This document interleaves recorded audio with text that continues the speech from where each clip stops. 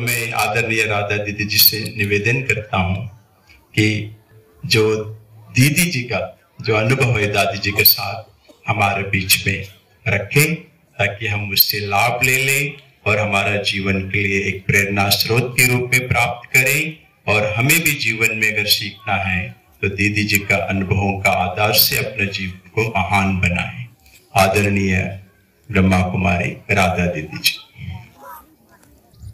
ओम शांति दादी के अंदर इतनी सहनशीलता की मूर्त थी, इतनी दादी के अंदर समर्पण भावना, सेवा की भावना, सेवाएँ जैसे जैसे आगे बढ़े, और भी दादियों के संग भाई, दादियाँ और आकर के सेवाओं में सहयोगी बने।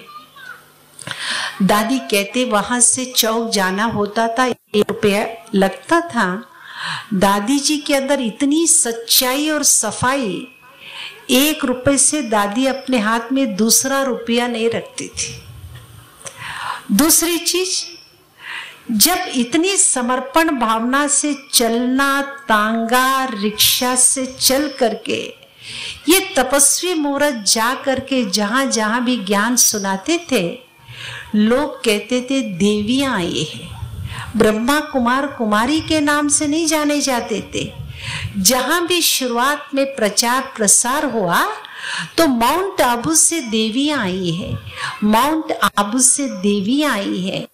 तो इनको देख करके देवी स्वरूपा दिखाई देती थी।